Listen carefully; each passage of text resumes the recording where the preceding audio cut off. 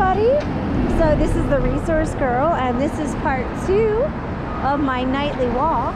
Uh, right now, I'd like to say that the sky is kind of ridiculously blue. Um, it's so beautiful.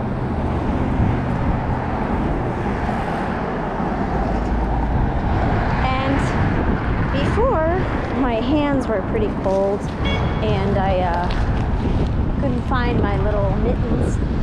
So I had to take a break, and I went into Target, and I needed to pick up some meat. So I I follow someone called Fully Raw Kristina, and it's all about eating vegan and raw. So everything the way God made it. And if you go to her page, Fully Raw Kristina, she lives in Hawaii. There are some of the most beautiful fruit that I've ever seen. Basically, I've never seen in my entire life. So, Fully Raw Kristina. So, why am I bringing this up?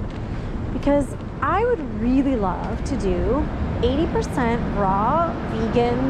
I, I wouldn't be considered a vegan, but meaning 80% the way that the food was made by God.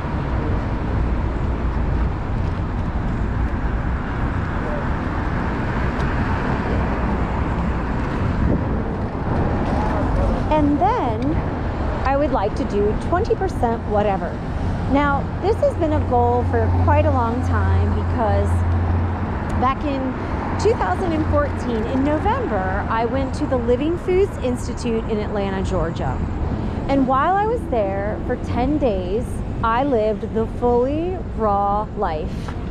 And that meant that I ate seeds and nuts. I had lettuce and broccoli and sprouts and wheatgrass juice. And for 10 days, I had nothing but live food.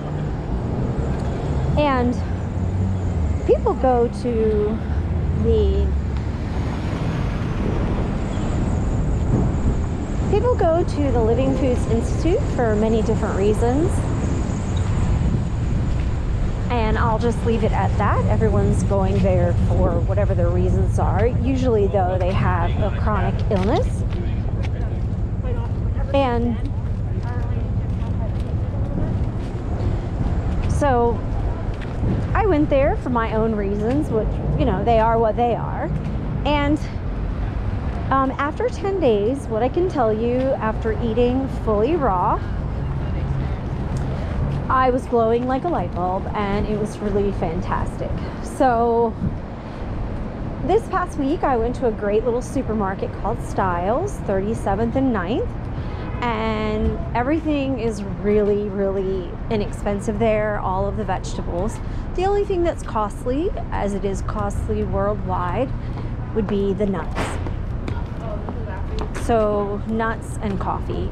Um, the nuts are like $7.99 a pound, I think, or no, a half pound. I don't know. But the point is, is nuts are very, very, very expensive. Um, but other than that, all the celery and the broccoli and the Brussels sprouts and all the other produce and the fruit, very, very inexpensive. But in my little trip to to Target, um, what I can tell you is that I did find some fresh ground beef, and I have not become 80% uh, raw. Um, this is a goal of mine, right? Because I've seen the health benefits. Um, and the Living Foods Institute in Atlanta, Georgia, you know, I've actually been there. So oftentimes, you know, the beauty of education is we can read a book about Thailand, but we've never been to Thailand, right? And then if we do go, or we finally get a chance to go, the realizations when we're there are, you know, richer and deeper when we've actually had the opportunity to experience uh, that place. So I can tell you that if you have the opportunity to go to a place like the Living Foods Institute in Atlanta, Georgia, or Hippocrates in Florida, or in Puerto Rico, um, Ann Weg, I think it's Ann Wegmeyer or Ann Wegmore. Um, she's the proponent of the raw food diet. And um, so when you actually go to these places, of course, you know, there's a richness that you can't describe just by reading a book. But not all of us can get on a plane for one reason or another and go everywhere. So they do have a cookbook and they also have the opportunity to do consulting on the phone.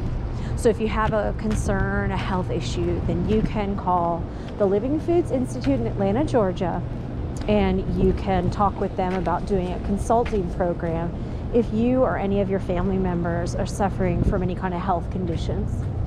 Now, I love New York because I just, you know, I often wonder, like, what's happening up there? What's happening up there with the red lights on? And then look over here. Now, last last March until probably October, November, this was happening every day, all day long. Uh, people just throwing their stuff out. And I know I've mentioned it in other videos. And that's the thing, if you become a fan of me, then you'll hear that I'll repeat some things. Because honestly, some of the um, topics are worth mentioning more than once. Uh, and, and who knows, you know, if you're going to show up again. I hope you do. I hope you like. I hope you subscribe. I hope you share it on your Facebook page. I hope you tell your grandma. I hope you tell everybody. Um, so, this is one of my favorite places in New York. It's called the Little Pie Company. And uh, I'm not to say it's good for you, but oh my god, it's so delicious. Yeah, the Little Pie Company. Um, the most beautiful, delicious little pies. And I was working a job um, a year and a half ago, and uh, the owner the owner of the little pie company was there and he was next to me where I was working and he won a prize that night for his little pies.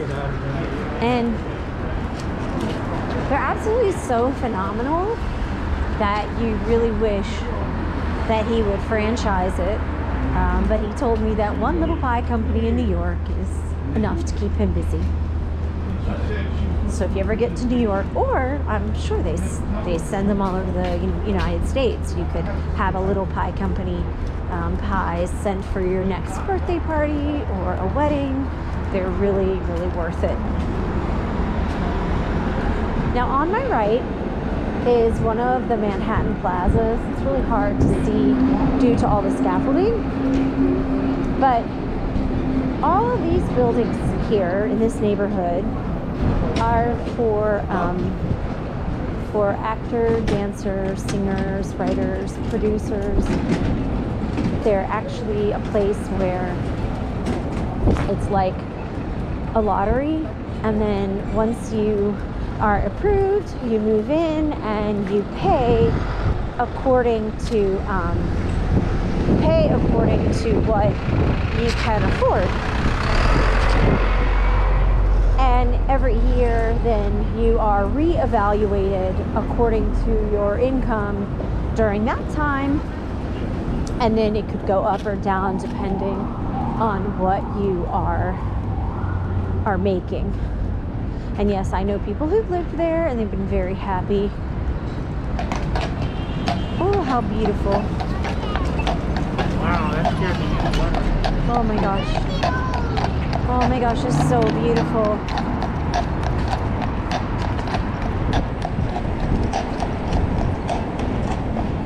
Um, so I I grew up riding horses uh, since I was seven years old, and um, so Baby.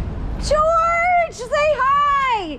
Say hi. Say Hi. hello. Say hello. Hi, everybody. Hold Hi. on, I'm gonna take a pause now. Oh,